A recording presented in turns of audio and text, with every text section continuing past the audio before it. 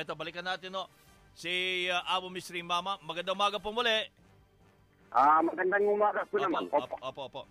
May report to kasi na isa daw grupo na breakaway group ng uh, BIFF na hindi daw po nagkaroon ng uh, magandang relasyon sa founder ng BIFF na si Amaril Umbracato at nagtayo sila ng Justice for Islamic Movement. Ito ho ba ay kinukumpirma ninyo sa BIFF? Ah, yung si Muhammad Ali Tambako ay breakaway from Bangsamoro Islamic Freedom Fighters o Mhm. from Bangsamoro Islamic Freedom Movement. Opo. Opo. Ah, hindi daw po hindi daw po naging kasundo o nagkaroon ng problema sa BIFF founder na si uh, Umbracato. Totoo ba 'yon? Si Ustad Rakato ay siyang German ng Bangsamoro Islamic Freedom Movement at ang Okay. dipinsa nito na Bangsamoro Islamic Freedom Fighters. Oho. Hindi nga daw nagkaroon ng maganda relasyon ah, itong ah, JIM kaya nag-break away sila, humiwalay sa grupo ho ninyo. Ah, hindi po sila humiwalay pero pinatalsik ng Bangsamoro Islamic Freedom Movement dahil ibang kanilang mga patakaran. Hindi sa Islamic ah, ah, galing ang kanilang mga patakaran. Ganun po. Ah, anong ibig yung sabihin hindi galing ho sa Islamic? Ano ang ano ho ang layunin ng grupo ni Tambako? Ayun eh, hindi natin alam sapagkat ah, noon ah, nagbakbakan do, ah, doon sa Midsayat North, Puta, North Cotabato, may pinutulang, may namatay na pinutulang pa ng. Opo. Ah, ang sabi po, ito si Tambako ay nagsimulang buuin ang JIM noong pang taong 2013 ah, at sila ay trained sa paggawa ng mga bomba at mga pampasabog. Ah, hindi po naman yun, hindi namin yun alam kasi noon nandito pa sila sa Bangsamoro Islamic Freedom Movement ay wala silang ginagawang bomba, ganun po. Opo. Ay totoo ho bang sila ang ah, nagbibigay ng proteksyon kay Usman? Ayun hindi rin natin alam sapagkat breakaway na sila sa amin, ganun po. Ah, wala na. Ay, saan ho ba nagkakampo itong ah, grupo naman ni Tambako? Ah, sabi ng mga military, ay doon nila natuntun yung grupo ni Tangpaku sa ah, barangay, ano yun, Dasitin, uh, Mama Sapano. Mama Sapano. O eh di ho Opo. ba meron ding kampo ang BIFF sa Mama Sapano? Ah, wala po tayong kampo kahit saan kasi kampo na natin ang lahat ng area ng Mindanao ngayon eh. O, ganun po. Ay paano po ang MILF? Eh, siya, meron naman silang kuan doon. Hindi naman namin sila pinatikilaman. Ganun po.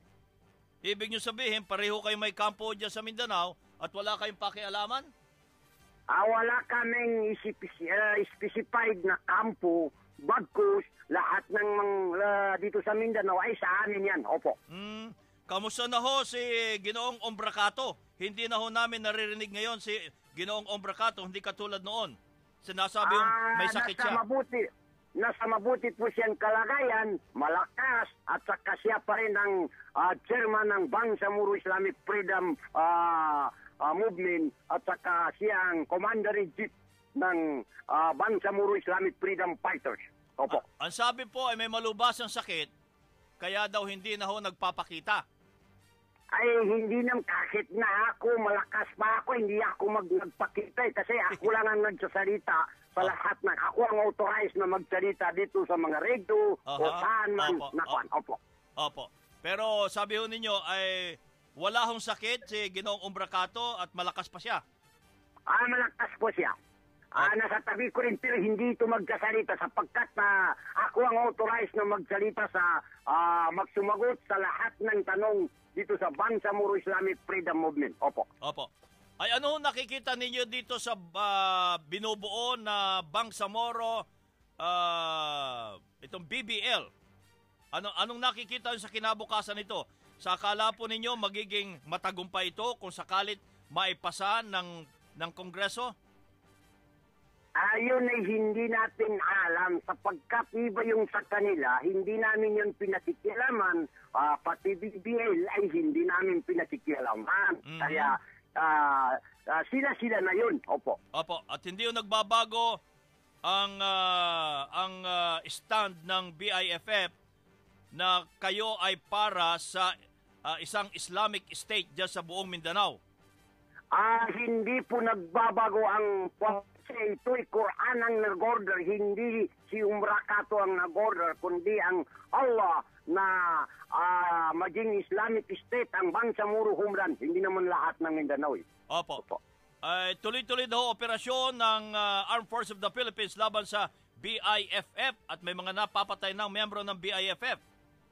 Ay wala naman napapatay kahit na tuloy-tuloy sapagkat ah, alam mo na, sinabi ko na namin, sinabi na namin noon na ang Bangsamoro Islamic Freedom Fighters ay parang daga na kung ah, dumating ang pusa ay ah, papasok sa loob ng butas. Opo. Ah, papasok sa lungga. O, lunga, lunga po. Ah, Opo. opo. so hi- hindi ho kayo lumalaban ng harapan sa Armed Forces of the Philippines. Eh, kung minsan lalabas kami para kung ah, sabi ng mga, kung may binta tayo, ay bakbakan naman. Kami na lang ang bumabaril sa kanila, hindi sila ang bumabaril. Wala pong patay sa amin. Opo. Opo. So wala pong napapatay sa mga miyembro ng BIFF sa kabila ng Ah, sa operasyon. ngayon, Opo. sa ngayon ay wala po. Wala po. Opo. Ni Opo. ah, the police ay wala. Opo. Opo. O sige po, maraming salamat po sa inyo. Magandang umaga at ah, salamat po sa pagkakataon. Ah, maraming maraming salamat din po sa inyo at ah, magandang umaga po. Opo. Sige dong, Abo Misre Mama, spokesperson ng Bangsamoro Islamic Freedom Fighters. O kinumpirma niya ho eh, yung breakaway group na Justice ah, ah, for Islamic Movement ni Tambako, yun ang pinakahead daw ngayon, na breakaway group naman ng BIFF. Grabe ano? Yan, sabi naman eh, kunwari yung mga breakaway-breakaway na yan. Diba? Pag ang ah, MILF daw, pag ang BIFF ay nasusukol na ng mga sundalo natin, biglang ah, iba na ang patyas nilang suot-suot. MILF na. Ito mo sabi ng BIFF po, ni ah, Abo Misri Mama, ang buong Mindanao ay kampo nila. Ay ganun din ang ah, MILF. Ay, nako.